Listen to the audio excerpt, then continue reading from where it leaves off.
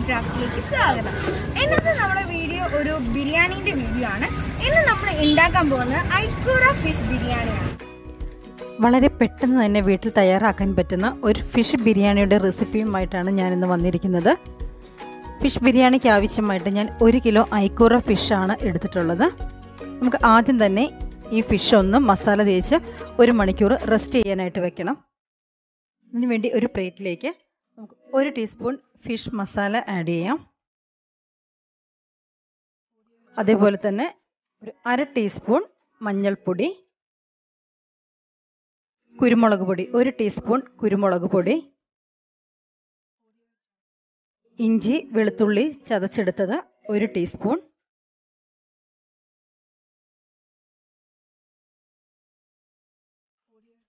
ഒരു ടീസ്പൂൺ ചെറുനാരങ്ങ നീര്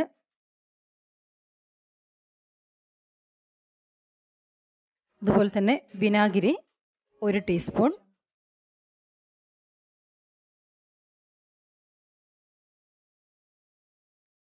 അര ടീസ്പൂൺ ഗരം മസാല പൗഡർ. ഒരു ടീസ്പൂൺ കോൺഫ്ലോർ. ഇതെല്ലാം നമുക്ക് കുറച്ച് വെള്ളം ഒഴിച്ചിട്ട് ഒരു പേസ്റ്റ് രൂപത്തിലാക്കി എടുക്കാം ഇതിന്റെ കൂടെ ആവശ്യത്തിനുള്ള ഉപ്പും കൂടെ ആഡ് ചെയ്യാം.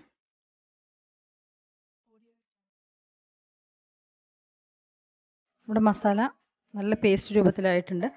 നമുക്ക് ഓരോ പീസ് എടുത്ത് നന്നായിട്ട് അതിലേക്ക് മസാല തേച്ച് പിടിപ്പിക്കാം. ഞാനിവിടെ കുറച്ച് പീസ് മാറ്റി വെച്ചിട്ടുണ്ട്. അത് ഫിഷിന്റെ തലഭാഗം വാൽ വാലിന്റെ ഭാഗമാണ്. അത് നമ്മൾ സവോളയൊക്കെ മസാല ഉണ്ടാക്കുമ്പോൾ അതിലിട്ട് വേവിച്ചെടുക്കാനാണ്. അപ്പോഴാണ് നമ്മുടെ ആ ചോറിന് ആ ഒരു ഫിഷിന്റെ ഒരു ഫ്ലേവറൊക്കെ കിട്ടുള്ളൂ. നമ്മുടെ ഫിഷ് മുഴുവനായിട്ട് മസാലയൊക്കെ തേച്ച് എടുത്തിട്ടുണ്ട്. ഇത് നമുക്കൊരു മണിക്കൂറെങ്കിലും റെസ്റ്റ് ചെയ്യാനായിട്ട് മാറ്റി വയ്ക്കാം അതുപോലെ ചുവട് കട്ടിയുള്ള ഒരു ഉരുളയിൽ ഞാൻ കുറച്ച് ഓയിൽ ഒഴിച്ച് കൊടുത്തിട്ടുണ്ട്. നമ്മുടെ ബിരിയാണി റൈസിന് ആവശ്യമായിട്ടുള്ള സവോള വറുത്തെടുക്കാനാണ്. ഞാനിവിടെ നാല് ഗ്ലാസ് അരിയാണ് എടുത്തിട്ടുള്ളത്. മൂന്ന് സവോള കനം കുറച്ച് അരിഞ്ഞെടുത്തിട്ടുള്ളതാണ്. ഇത് നമുക്ക് ഈ ഓയിലിട്ട് ഒന്ന് ഫ്രൈ ചെയ്തെടുക്കാം. ഇതുപോലെ നൈസായിട്ട് അരിഞ്ഞെടുത്തതാണ്. ഞാനിവിടെ ഉള്ളി ഫ്രൈ ചെയ്യാനായിട്ട് എടുത്തിട്ടുള്ളത് വെളിച്ചെണ്ണയിലാണ്.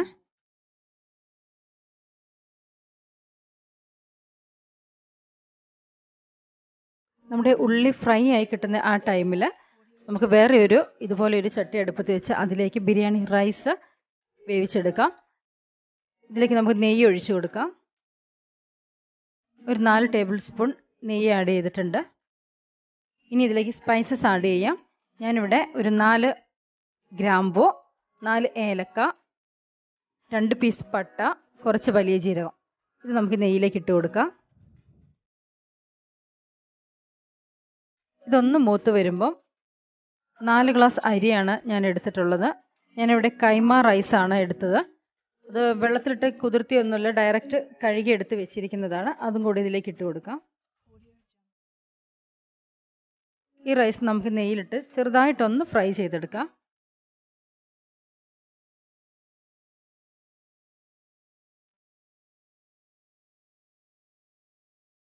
നമ്മുടെ അരി ഇവിടെ നന്നായിട്ട് ഫ്രൈ ആയി വന്നിട്ടുണ്ട്. ഇതിലേക്ക് എട്ട് ഗ്ലാസ് വെള്ളം തിളപ്പിച്ച് വെച്ചിട്ടുള്ളതാണ്. അത് ഒഴിച്ചു കൊടുക്കാം.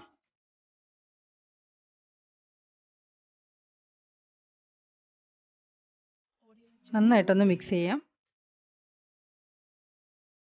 ആവശ്യത്തിനുള്ള ഉപ്പ് ആഡ് ചെയ്യാം.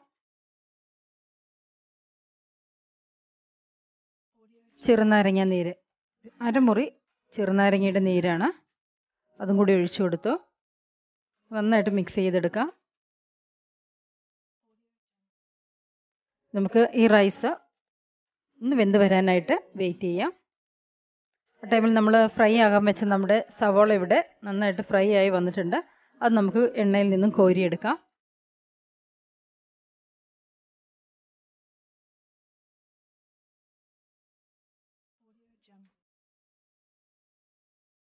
നല്ല ഗോൾഡൻ ബ്രൗൺ ആയിട്ട് നമ്മുടെ സവോള കിട്ടിയിട്ടുണ്ട്. ഇനി ഈ സെയിം എണ്ണയിലേക്ക് തന്നെ ഒരു ക്യാരറ്റ് അരിഞ്ഞെടുത്തത്. അതും കൂടെ ഇട്ട് കൊടുക്കാം.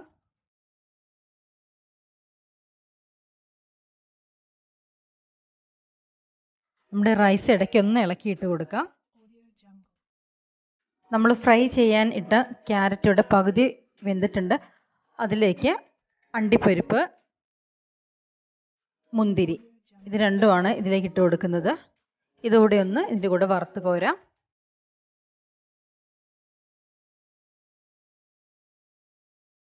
നന്നായിട്ട് ഫ്രൈ ആയി വന്നിട്ടുണ്ട്. നമുക്ക് എണ്ണയിൽ നിന്നും കോരിയെടുക്കാം.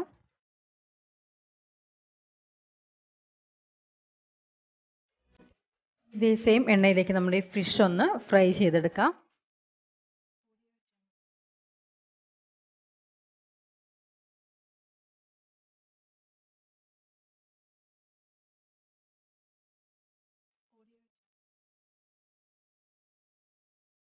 നമ്മുടെ റൈസ് ഇവിടെ പാകത്തിന് വെള്ളമൊക്കെ വറ്റി വെന്ത് കിട്ടിയിട്ടുണ്ട്.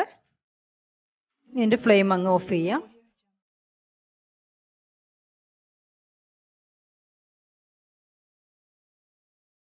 നമ്മുടെ ഫിഷ് ഇവിടെ ഫ്രൈ ആയി വന്നിട്ടുണ്ട്.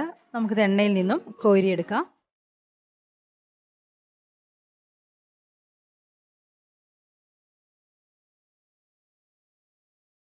ഫിഷ് ഫ്രൈ ചെയ്തെടുത്ത ഈ എണ്ണയിലേക്ക് നമ്മുടെ ബിരിയാണി മസാലയ്ക്ക് ആവശ്യമായിട്ടുള്ള സവോള ഇട്ട് കൊടുക്കാം. ഞാനിവിടെ രണ്ട് സവോളയാണ് എടുത്തിട്ടുള്ളത്. മസാലയ്ക്ക് ആവശ്യമായിട്ടുള്ള ഉപ്പ് ആഡ് ചെയ്ത് കൊടുക്കാം. സവോള ഇവിടെ ഒന്ന് വാടി കിട്ടിയിട്ടുണ്ട്. അതിലേക്ക് രണ്ട് തക്കാളി ചെറുതായിട്ട് അരിഞ്ഞെടുത്തത് അതിട്ട് കൊടുക്കാം. ഒരു ആറ് പച്ചമുളക് ചതച്ചെടുത്തത് ഒരു ടീസ്പൂൺ അതിട്ട് കൊടുത്തു. ഇഞ്ചി വെളുത്തുള്ളി പേസ്റ്റ് ഒരു ടീസ്പൂൺ. ഇതൊന്ന് ഇതിന്റെ പച്ചമണം മാറുന്ന വരെ നമുക്ക് നന്നായിട്ടൊന്ന് വഴറ്റിയെടുക്കാം.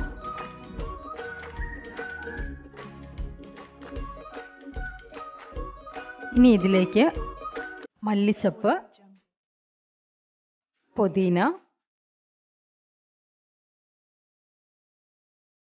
പുളിയില്ലാത്ത കട്ടത്തൈര് ഒരു മൂന്ന് ടീസ്പൂൺ പുളിയില്ലാത്ത കട്ടത്തൈരും ഇതിലേക്ക് ഇട്ട് ഒഴിച്ചു കൊടുക്കാം. നന്നായിട്ട് മിക്സ് ചെയ്തെടുക്കാം.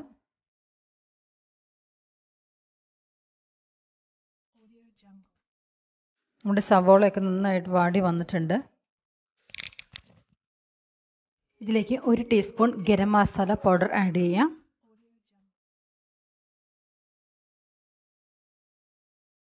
ഇനി ഈ മസാലയിലേക്ക് നമ്മൾ മാറ്റി വെച്ചിരുന്ന ഫിഷ് ചെറിയ പീസുകൾ നമ്മൾ എടുത്ത് വെച്ചിട്ടുണ്ടായിരുന്നു. അത് ഇതിലേക്ക് ഇട്ട് കൊടുക്കാം. ഫിഷ് വേവാൻ ആവശ്യത്തിനുള്ള കുറച്ച് വെള്ളം അതും കൂടി ഒഴിച്ചു കൊടുക്കാം. എല്ലാം ഒന്ന് നന്നായിട്ട് മിക്സ് ചെയ്ത് ഈ ഫിഷ് വേവാനായിട്ട് ഒന്ന് വെയിറ്റ് ചെയ്യുക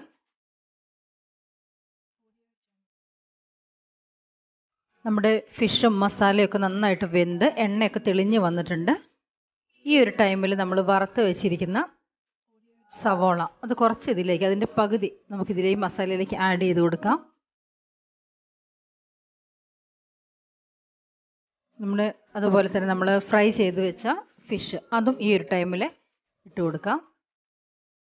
നമ്മുടെ ബിരിയാണി റൈസും ഫിഷ് മസാലയും നമുക്കിതുപോലെ വലിയൊരു പാത്രത്തിലേക്ക് ഇടവിട്ട് മിക്സ് ചെയ്ത് വെക്കാം. ഇതിലേക്ക് ഫ്രൈ ചെയ്ത് വെച്ചിരിക്കുന്ന ഫിഷ് ഞാൻ കുറച്ച് ഫിഷ് ഫ്രൈ ചെയ്ത് മാറ്റി വെച്ചിട്ടുണ്ടായിരുന്നു. അതൊരു ഫസ്റ്റ് ലെയറിൽ ഇട്ട് കൊടുക്കാം. ഇതിന്റെ മുകളിൽ ഫിഷ് മസാല കുറച്ച് ഫിഷ് മസാല ഇതിന്റെ മുകളിലേക്ക് വെച്ച് കൊടുക്കാം.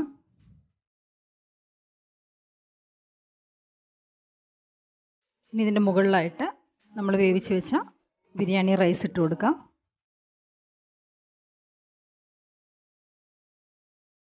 ഒരു ലെയർ റൈസ് ഇട്ട് കൊടുത്തു. ഇനി ഇതിലേക്ക് ഞാൻ ഒരു ടീസ്പൂൺ പാലിൽ ഒരു കാൽ ടീസ്പൂൺ മഞ്ഞൾപ്പൊടി മിക്സ് ചെയ്തതാണ്. അതൊരു രണ്ട് മൂന്ന് ഡ്രോപ്സ് ആയിട്ട് ഒഴിച്ചു കൊടുക്കാം. നമ്മുടെ റൈസിന് ഒരു യെല്ലോയിഷ് കളർ കിട്ടാൻ വേണ്ടിയിട്ടാണ്.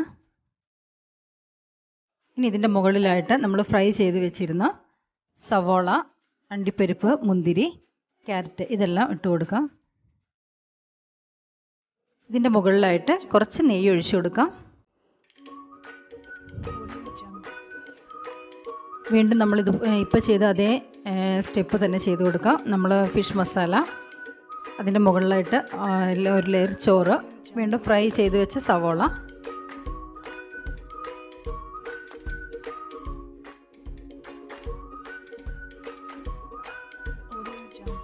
ഇവിടെ ഫിഷ് മസാലയും ബിരിയാണി റൈസും ഇവിടെ ലെയർ ചെയ്ത് മുഴുവനായിട്ട് ഫില്ലാക്കിയിട്ടുണ്ട് ഇതിന്റെ മുകളിൽ നമ്മൾ ബാലൻസ് വെച്ച സവോളയും കൂടി ഇട്ട് കൊടുക്കാം.